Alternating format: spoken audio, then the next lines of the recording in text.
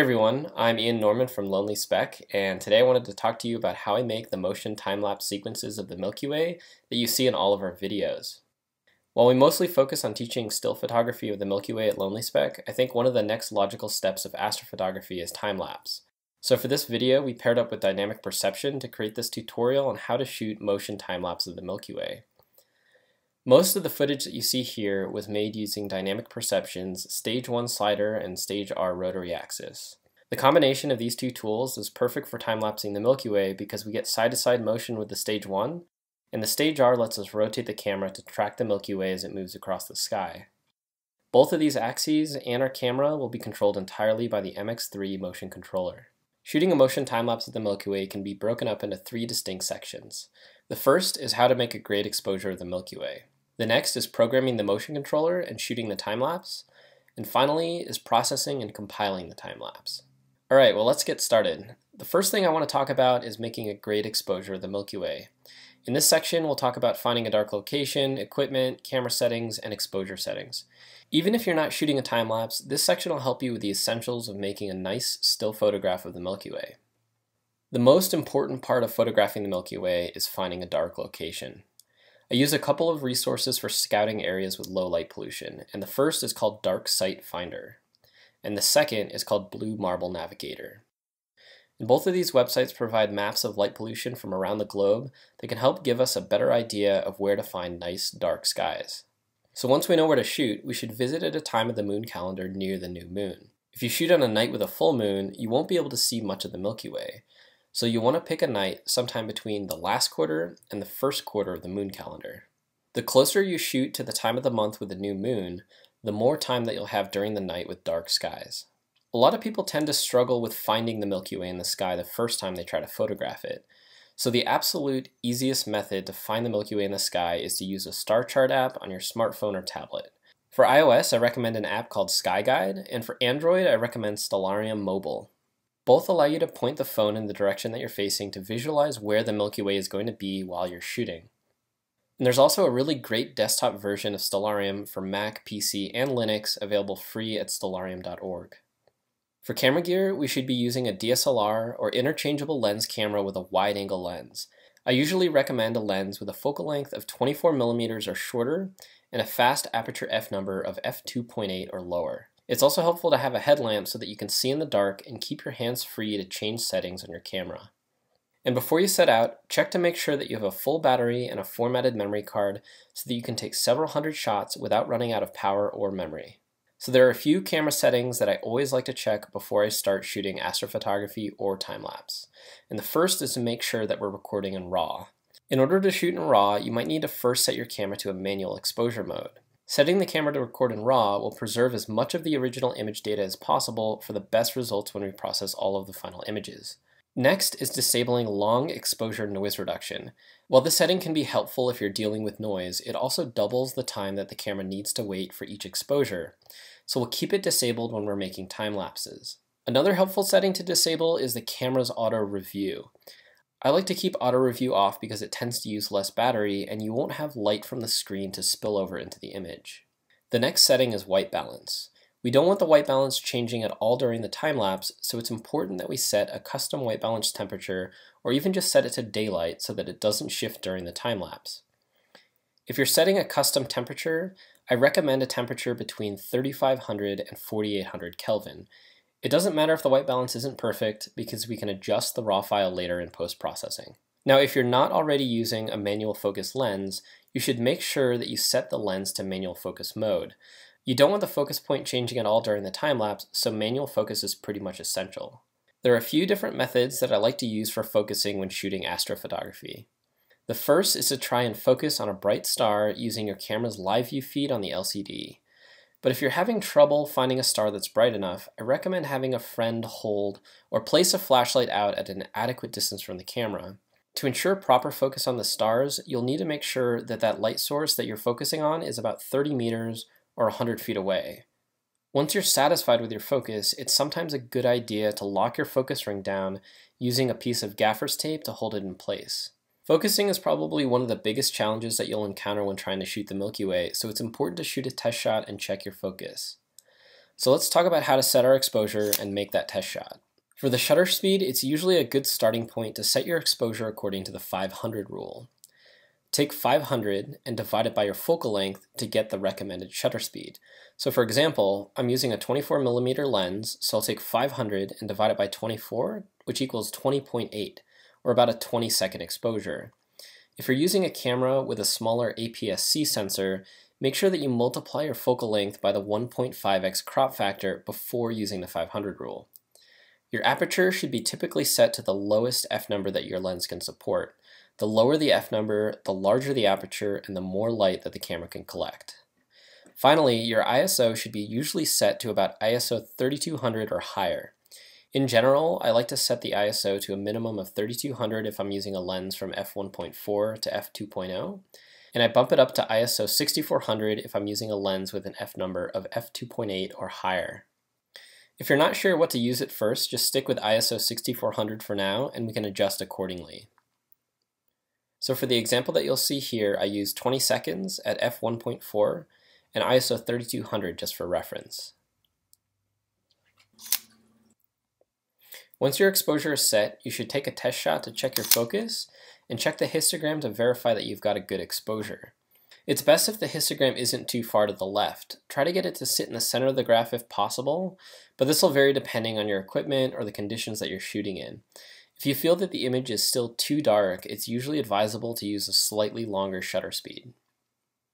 Once we're satisfied with the exposure, we're ready to start programming the time lapse. So in this section, we'll talk about programming the motor delay, setting the interval time, programming the speed of each axis, checking the movement directions, and finally shooting the time lapse. The MX3 motion controller gives us a rather simple way to program each of our axes independently. When we first power on the MX3, we're greeted with this program control screen. For this demonstration, I'll be using the manual setting mode so that we can program each of the axes independently, and I'll be using the shoot move shoot mode so that the slider doesn't move while the camera is exposing. Pressing the up or down buttons allows us to see additional control screens. We can see the camera control screen, and we can see a screen for each of the different axes.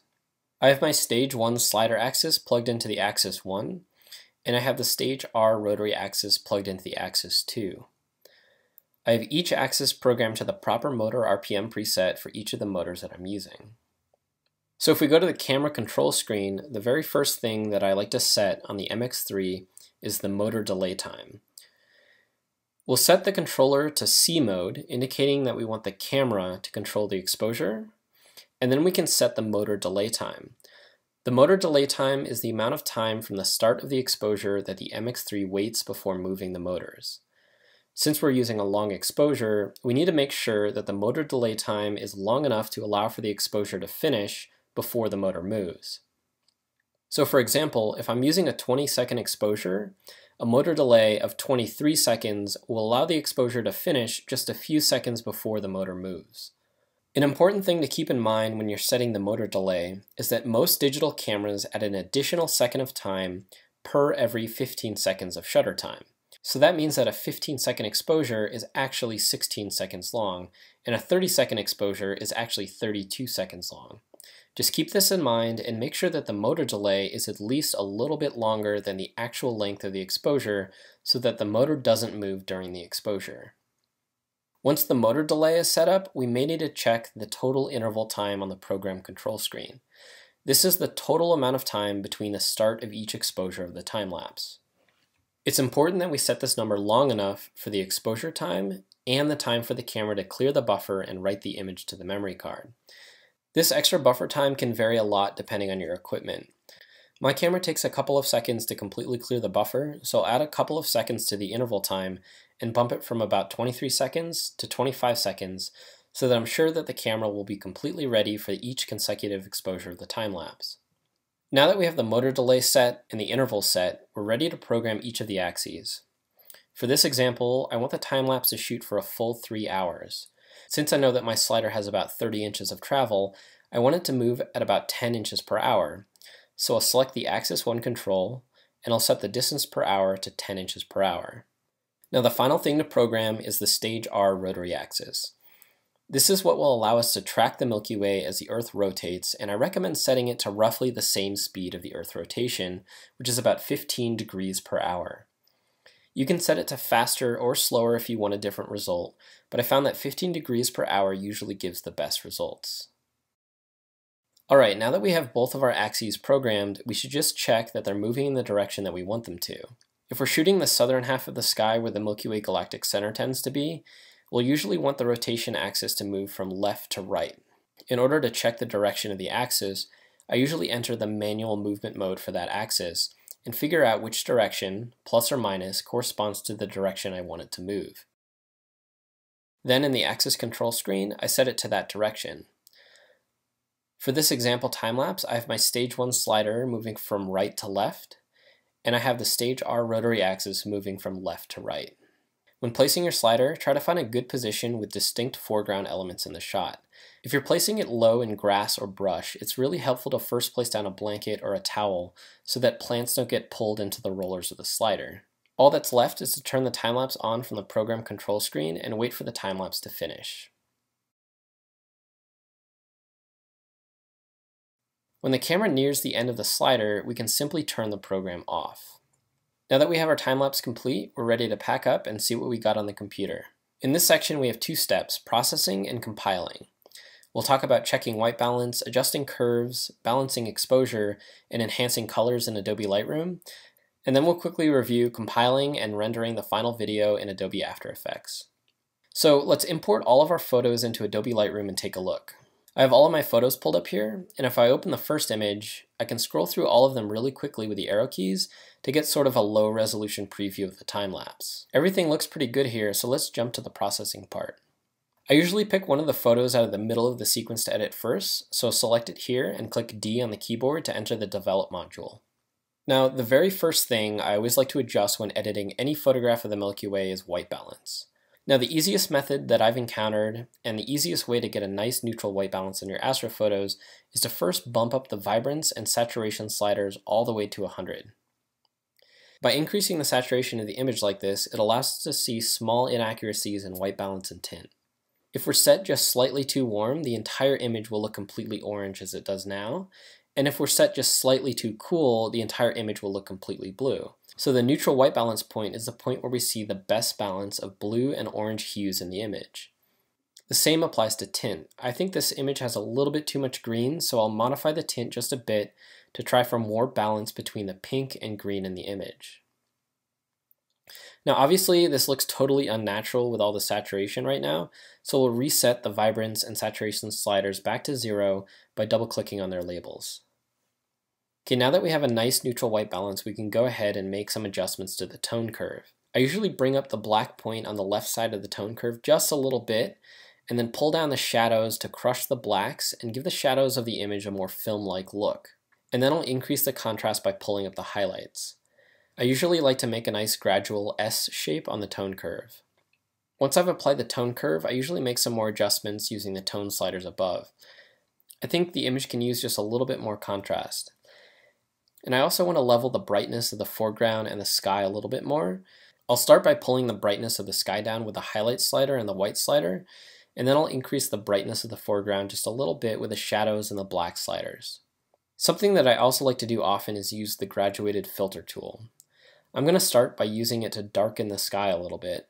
So I'll go ahead and click and drag my filter of the image to make a nice gradual transition and then I'll select this little white dot on the filter to position it a little bit better. Now I think this is just a little bit too dark, so I'll tweak the gradual filter's exposure slider until I think the image looks well balanced.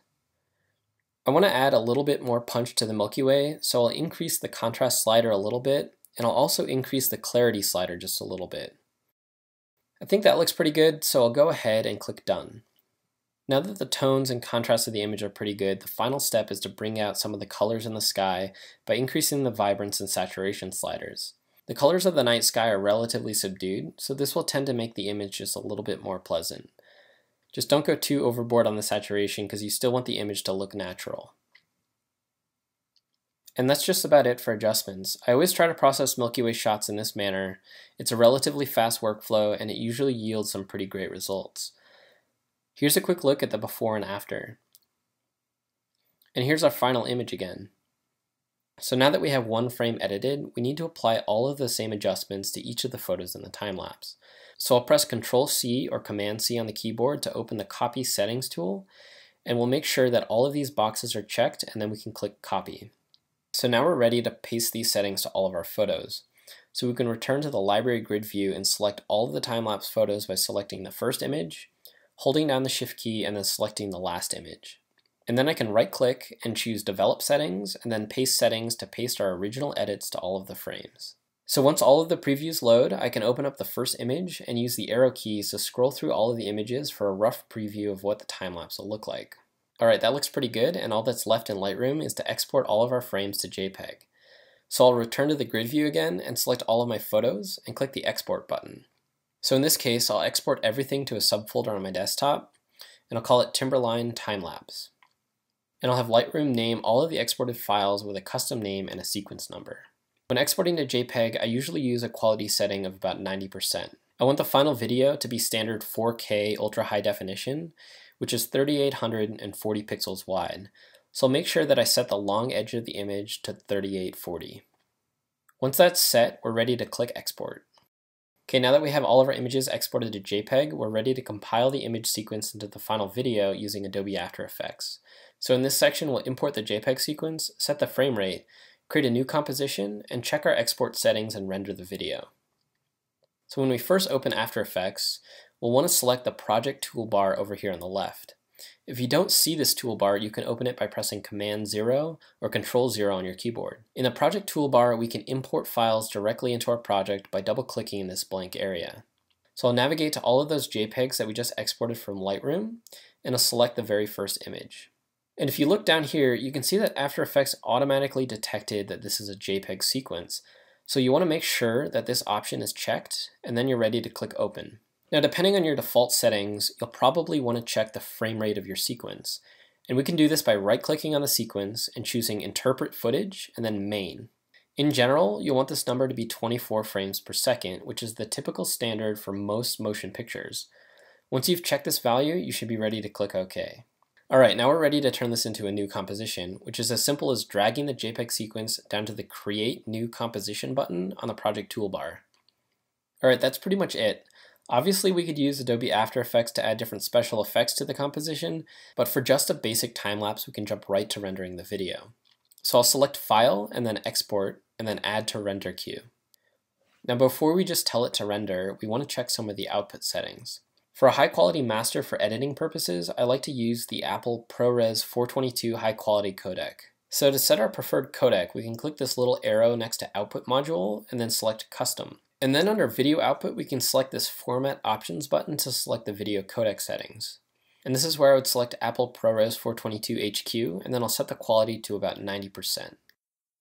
There's a lot of different reasons to use different codecs, and each of them has balances between file size and quality, but for a relatively high quality master, I personally tend to like ProRes 422.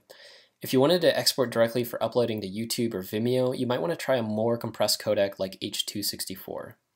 Depending on what settings you find work best for you, you can save those settings as a template by choosing that little arrow again near the output module and then selecting Make Template.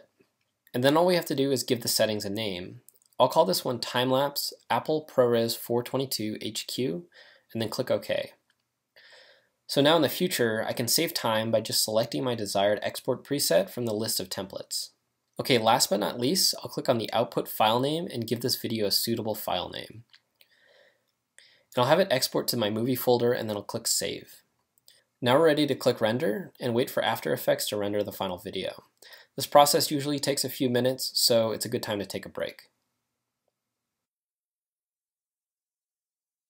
Okay, now that it's rendered, we can go ahead and navigate to the file and see how it turned out. Well, that looks pretty good to me, so I think that concludes our tutorial on shooting motion time-lapse of the Milky Way. I'd like to give a huge shout out to the team at Dynamic Perception. They've put together a really affordable and well-designed system for making motion time-lapse, and I've had a blast using it. You can check out all of their motion control and time-lapse products at dynamicperception.com. Once again, I'm Ian Norman. I really hope you enjoyed this video. If you want to see more astrophotography related videos, please subscribe and check out all of our tutorials, gear reviews, and inspiration on lonelyspeck.com. See ya!